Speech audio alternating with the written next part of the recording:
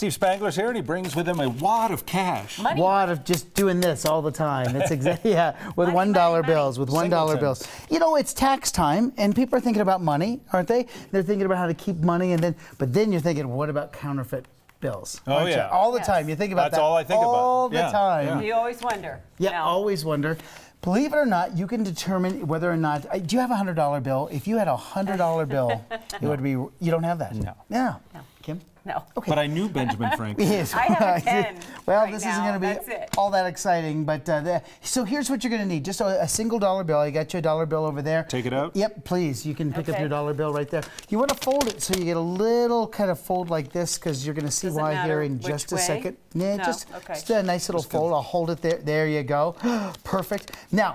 We have a strong magnet. Sitting in front of you is a neodymium magnet. And in fact, here, why don't we try this? Kim, uh, here, hold out your hand. Okay. you don't have a heart condition, do you?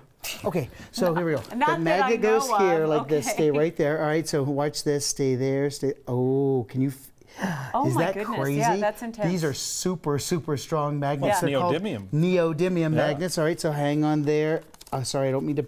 Uh, that's it's tough, isn't Okay. it? All right, so now watch this. Uh, hold it back so you can get a good shot. If you take a mag- magnet, a neodymium, these are just rare earth magnets, and you can find it at the hardware store. Watch what happens when you get close. Try it with yours. Oh, yeah. Look at that. Now that is not static electricity right there. You're actually attracted. See how that ah. works? So that would maybe, maybe indicate that there's something in there that is attracted to the magnet.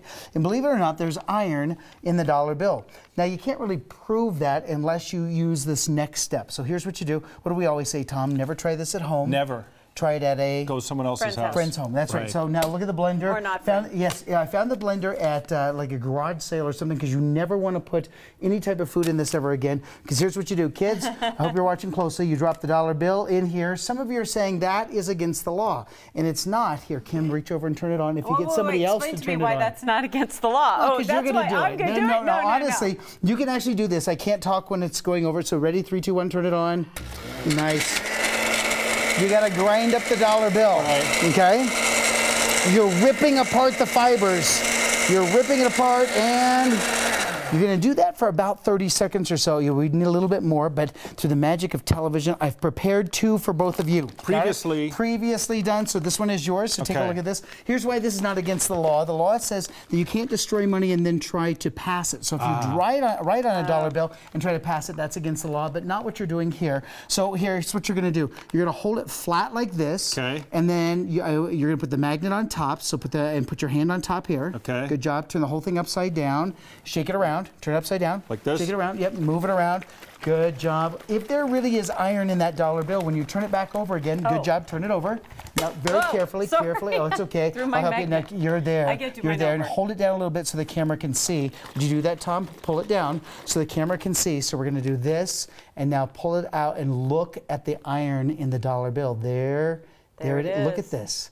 That is the iron that they actually put in there. So why do they do that? Because they actually put sensors in uh, vending machines, for example. So if you try to feed in a bill that doesn't have That's the why it iron doesn't go in? That's exactly right. So it'll come back and the alarm will sound or it'll kick it back out again. Right. So it's one of the ways. I mean, there's very sophisticated ways, Sure. of course, with little strips and everything else. But who would have thought a dollar bill would be important enough that they would use metallic ink and you can actually pull the iron out of the dollar bill? You can do the same thing with total cereal. So believe it or not, the same thing we just did. Take total cereal and grind some total cereal up. You will find roughly sheared ingot iron in your total cereal as well. There's a certain amount of irony to that. Thank you very much. See, the jokes Uh, just uh, keep uh, going. I, I love that I so do much. like the George It- Washington daiquiri you made too. it is. It's a. It's a. It's, your. a It's liquid assets. That's what it is. It's liquid. There you go. We should probably stop while we're at it. I put all of it online, so you'll find it either on the Facebook page uh, or head over to 9news.com, and all the experiments are up there as well. You need this back? No, no, it's yours. That's your. It's, you did such a nice job. Thank you. We will be right back. I lost asset. another dollar.